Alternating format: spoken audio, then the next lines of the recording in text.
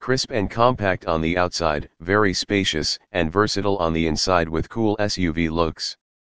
That is the new Opel Crossland, which is the first model to adopt the brand's unmistakable new face, showcased just a few weeks ago by the new Opel Mokka. As with the Mokka, the new Opel Crossland dispenses with the X appendix in its name.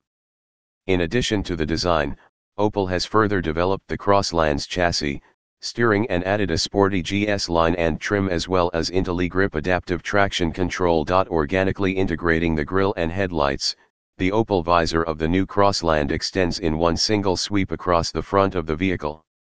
The Vizor optically stretches the width and organizes the fascia with a reduced amount of elements. The brand's legendary lightning flash emblem proudly dominates the center.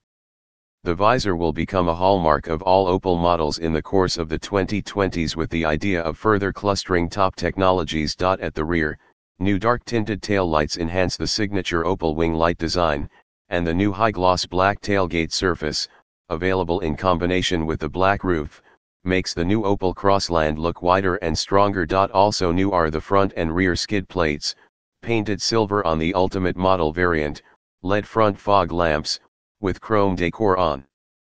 Ultimate and Elegance, a chrome door molding for the Ultimate trim, plus stylish 16 and 17 inch light alloy wheels. The former are available in silver, high gloss black bicolor or high gloss black, while the latter come in high gloss black bicolor